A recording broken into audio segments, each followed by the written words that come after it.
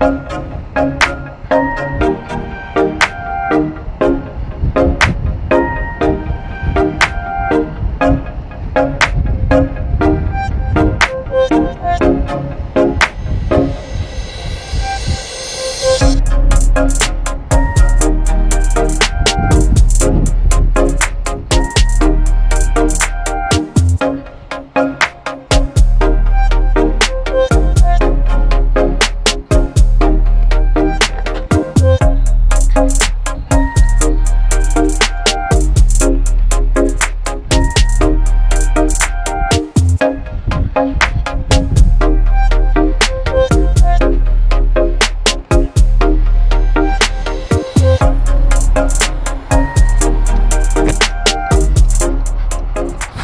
família, tudo bom?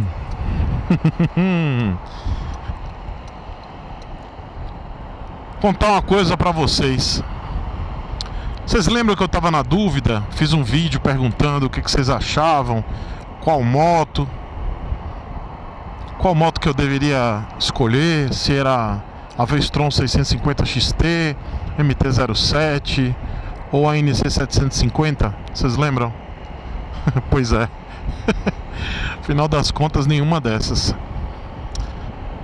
Contextualizando, no final de. Sim, eu contextualizei vocês.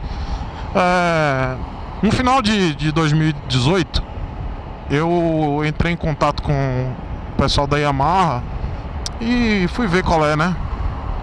Como a gente fala aqui, aqui em Salvador, fui ver qual é de mesma.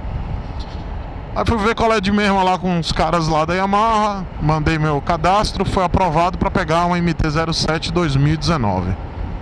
Beleza, dando aí uma entrada, não era, não era é, baixa, né, era salgada a entrada, mas é, foi aprovado, beleza. Só que aí eu fiquei ainda é, na expectativa de pegar uma. fazer o contato com a Honda e, e ver uma NC 750. Só que é o seguinte, galera. E vocês sabem que eu fiz também um vídeo dizendo que é, 2019, entre safra, e aí eu não podia também colocar em prova o que eu mesmo disse para vocês. Imagine, faço o que eu falo, mas não faço o que eu faço. Não. Então eu parei para pensar também, eu disse, pô, olha só, NC 750, se eu pegar esse ano, eu vou me ferrar porque eu acredito, e aí, claro, é um pensamento meu, tá?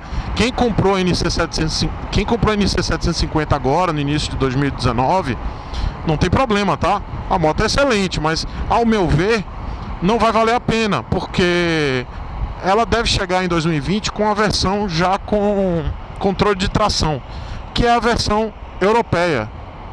Então eu penso, pô, não acho legal pegar agora a NC 750X, porque ano que vem ela já vem com a versão é, com controle de tração, que é o que me interessa. A MT-07 não vai mudar, na minha opinião, vai ficar aquilo ali mesmo.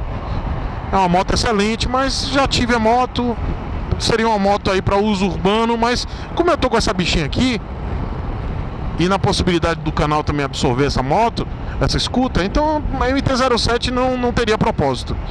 Então declinei da MT-07 e pensei, bom, vamos lá para a Vestron. Aí a Vestron tive dificuldades para aprovação de, cadra, de cadastro, não entendi muito bem qual foi, não consegui aprovação no cadastro da Vestron. Não sei cargas d'água, não passou na aprovação. Sendo que é, até simulei com, com entradas maiores até do que MT-07, vai saber, não consegui. Aí pensei, cara, isso é sinal. Isso é sinal que não é hora para fazer isso. Não é hora para comprar essas, essas motos. Não é. Aí desisti. Desisti mesmo.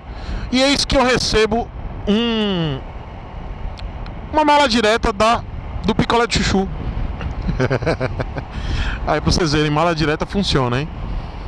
Aí recebo uma mala direta do Picolé de Chuchu falando da, da promoção e do consórcio nacional Yamaha, lá, lá, lá, lá, lá, lá. E aí, o que é que tio Chico fez? o consórcio de uma MT-09 Tracer. pois é, família. Vou de MT-09 Tracer. E aí fechei o consórcio, tô nessa. E tô satisfeito. Tô satisfeito, mas só dando essa notícia aqui pra vocês. E num outro vídeo eu vou falar o porquê da MT-09 Tracer. Mas só para vocês saberem e comentarem o que, que vocês acharam dessa loucura. Deixa aqui nos comentários que eu tô curioso, eu quero saber. Beijo para vocês e até amanhã.